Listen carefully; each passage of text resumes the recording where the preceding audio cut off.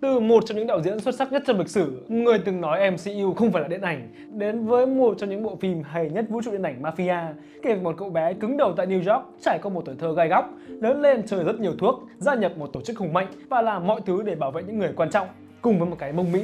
Vâng, hôm nay chúng ta nói về Goodfellas của Martin Scorsese. Dù chưa mất giải phim hay nhất năm của Oscar 1990, nhưng mà vào tháng 11 năm 2002, Goodfellas đã về thứ tư trong danh sách những phim hay nhất 25 năm vừa qua của tạp chí Sight and Sound. Nếu bạn chưa biết thì Sight and Sound là một tạp chí thuộc Viện Điện ảnh Anh Quốc và thường xuyên có những cuộc bình chọn đánh giá phim khá là uy tín. Thôi, không dài dòng nữa, hãy khoác lên mình bộ cánh đôn chề và đến với thế giới tội phạm ở New York, nơi mà có nhiều headshot hơn cả stream của bó men. Nói qua về nội dung thì kịch bản của Goodfellas được viết bởi Scorsese và Nicolas Pileggi dựa trên cuốn sách Wise Guy Life in the Mafia Family của chính Pileggi dựa trên câu chuyện có thật về cuộc đời của Henry Hill, một tay mafia thuộc bang Vario của gia đình tội phạm Lucchese, một trong năm gia đình lớn nhất của New York và là hình mẫu của gia đình Cuneo trong bố già. Trong Goodfellas thì gia đình Lucchese không được nhắc tới, còn bang Vario thì được đổi tên thành Cicero. Còn về mặt hình ảnh thì được khắc họa từ ký ức của Scorsese về tuổi thơ tại khu Little Italy, Manhattan, New York Nói chung là phim làm kiểu bảy thực ba hư. Các mốc sự kiện quan trọng có thực thì không hề thay đổi, nhưng mà có nhiều tình tiết thì là phóng tác của đạo diễn. Mốc thời gian trong phim trải từ năm 1955 đến năm 1980. Chuyện phim thì xoay quanh những thăng trầm của Henry. Chúng ta được theo chân anh trong hành trình vươn lên trong giới xã hội thâm và xuống dốc khi mà quyết định chuyển sang môn mai thúy, rồi kết cục là phản bội toàn bộ băng nhóm của mình. Nhân vật Đầu tiên thì chúng ta có Henry Hill. Như những gì tôi còn nhớ, tôi đã luôn muốn trở thành giang hồ. Đối với tôi, thà làm giang hồ còn hơn là làm tổng thống Mỹ. Đó là những gì nhân vật chính Henry Hill nói ở phần mở đầu. Bố hùng giờ hơi, làm người thường cũng làm, thích làm tổng thống Mỹ hay làm giang hồ. Ngày còn đi học thì Henry làm thêm cho một xưởng taxi bên đường. Đây thực chất là đại bản doanh của bang Sierra ở Brooklyn. Để dễ hình dung thì Henry hồi đấy đang học cấp 3 và đi thu họ và làm việc vặt cho các đại ca xã hội. Nói chung là bỏ học đi làm giang hồ.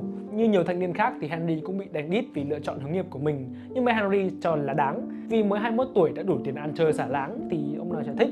Thời đấy có TikTok thì Henry có cả đống fan. Ở phần cuối của phim khi mà đã hết tiền, bạn bè cũng đã liệm gần hết, lại còn bị bạn thân lên kế hoạch thủ tiêu chỉ được an toàn nhờ chương trình bảo vệ nhân chứng của chính phủ. Nhưng mà Henry vẫn than vãn và nhớ nhung những ngày tháng cũ, có phần khiến dân tình hiểu sai cái thông điệp của phim.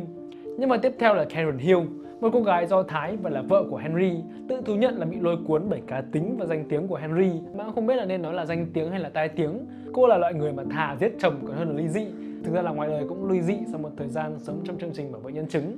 Karen chỉ thực sự ra mặt khi mà bồ nhí của chồng có liên quan, còn bình thường thì rất là chuyên nghiệp trong việc tảng lờ đi những hành vi tội ác xung quanh mình. Tiếp theo chúng ta có Jimmy Conway. Trước khi đóng người Ireland này thì Robert De Niro đã đóng người Ireland này. Dựa trên tay tội phạm khét tiếng Jimmy Burke ngoài đời.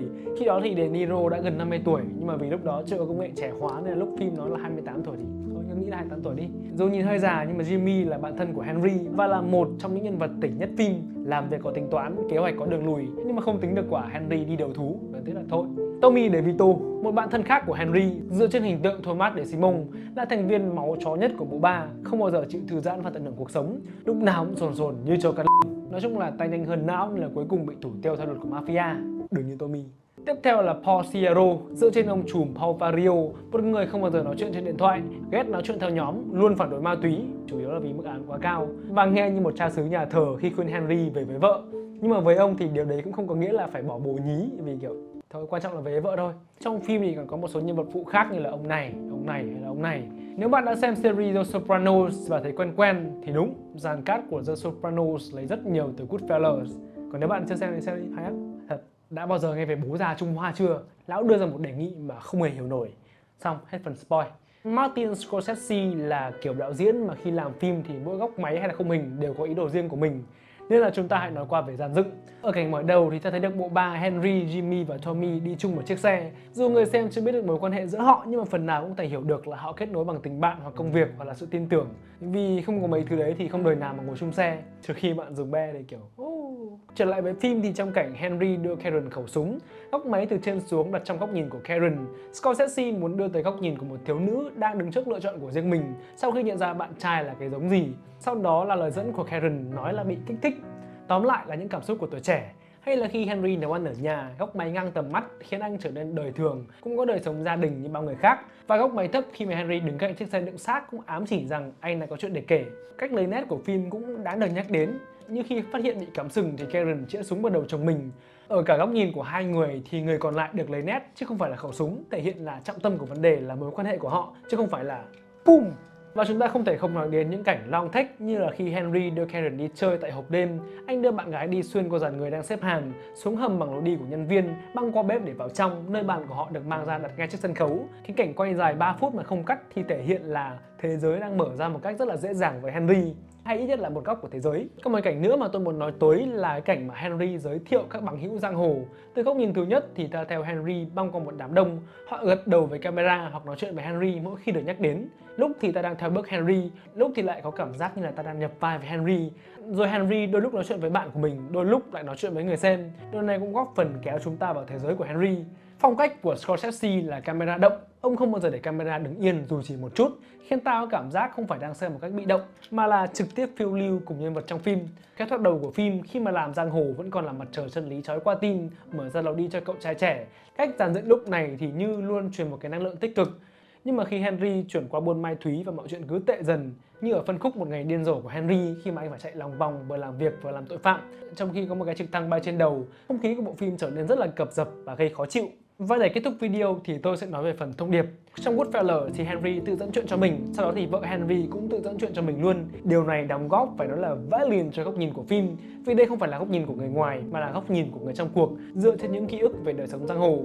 Giống như nhiều bộ phim khác của Scorsese thì nếu bạn không quan tâm đến ý đồ của đạo diễn mà chỉ tin vào lời dẫn chuyện khá là tổ lái và bỏ qua luôn 40 phút cuối phim thì Goodfellas là một bộ phim cổ xí bạo lực và nam tính độc hại. Bạo lực thì luôn là một phần quan trọng trong phim của Scorsese nghe qua giống Tarantino. Đúng vậy nhưng mà nó là ngược lại tại vì Tarantino là người hâm mộ Scorsese. Nhưng mà đối với tôi ấy, thì trong cái bộ phim nói về giới tội phạm thì cảnh bất ngờ nhất là khi Henry bị bố đánh vì bùng học. Ngoài cảnh đó ra thì bạo lực diễn ra khá là random thỉnh thoảng có đoạn giả chân như trong phân cảnh ở nhà hàng. How the f am I funny? What the f is so funny about me? Get the f out of here. bạn bè đùa vui thôi nhưng mà thường rất là giang hồ. Như là khi Tommy bắn vào chân cậu bồi bàn rồi mấy hôm sau giết luôn hay là khi bị Billy cà khịa trong quán bar Tommy bỏ đi nhưng mà sau đó lại lủi lủi quay về đập cho Billy một trận sau đó cũng giết luôn. Bạo lực diễn ra theo kiểu chuyện thường ngày với các nhân vật.